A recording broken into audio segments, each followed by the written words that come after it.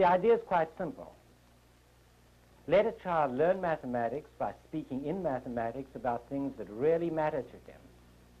So at MIT, we've given computers the power to turn motors, to make sounds, to draw pictures, and we've found ways of giving children the power to control the computer. So the child can make the computer do anything that he can describe in a suitable mathematical language by typing on a keyboard like this.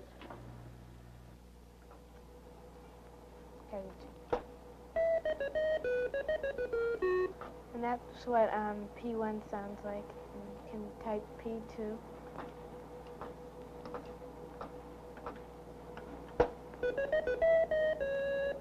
That's P2 and P3.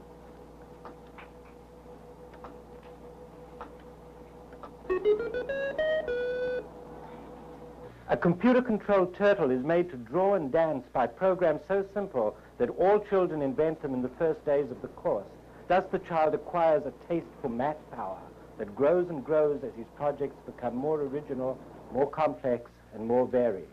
So you have like the um, first one, then the second one, then the third one, then the first one again for the ending. Okay. Now they'll put their little tunes together to make a bigger one.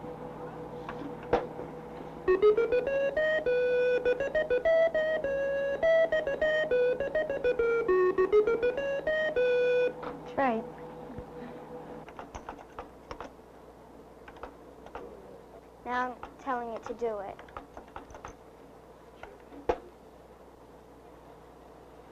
Oh no. Sometimes I get into bugs like this, and it'll, um, when it was doing it in his mind, the little turtle, it's the little triangle thing, um, was on an angle, so it drew the picture on, on an angle. So now I'll go back uh, and have it draw it in its mind again while it's in the right position. And so the child doesn't have to be told by a teacher whether he's right or wrong. He can see for himself whether it works. And that's what science and knowledge is about. Super procedure is named fancy. And then you have an input, which means you can vary the size. Now I'm going to make it 100. Right now it's doing a procedure called top. And each one of those little fins is called fin. And that's another sub-procedure in top. Now it's doing inside. There are identifiable techniques for working on a problem. One of these is known by these children as writing procedures as sub-procedures. Inside and top are the two main sub-procedures. And the other one, the tail is made out of odds and ends. Just put, just put together. The technique's really well known. Subdivide the problem, split the difficulties, make a procedure out of sub-procedures, make a whole out of parts, understand each separately. Everybody knows that, but they don't do it. Now, it's moving across the stream the way I um, told you it did it before. But this time, this is like the way I taught myself to get it across the screen. It's the first time I had done it. And so the way I had the little one to go is every time it moves up a little, it subtracts a number, a little bit of a number, and then until it, it's a small number.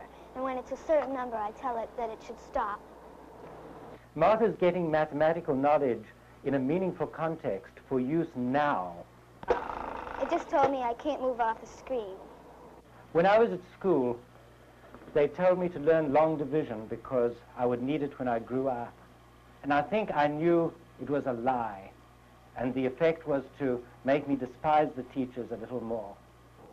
Now it's drawing the gill,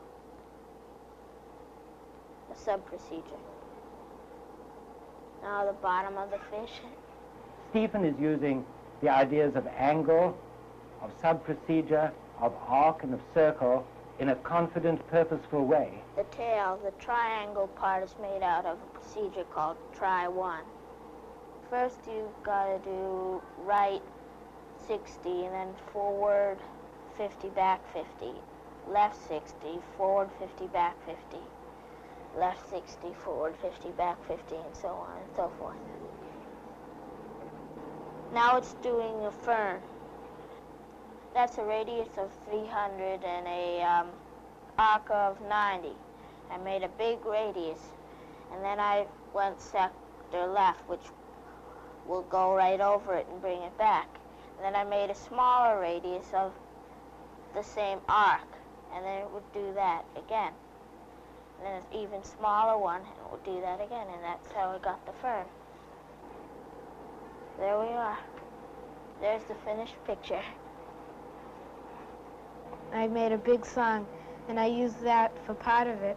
And then I made an accompaniment with it, with the, the drum. And that's, um,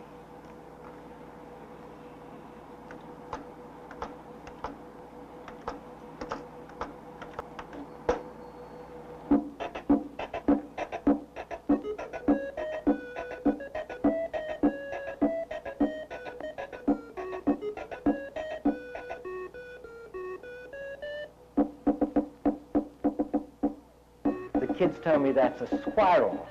And I think that was a new mathematical word that was born there that's going to stick. I'd call that real discovery.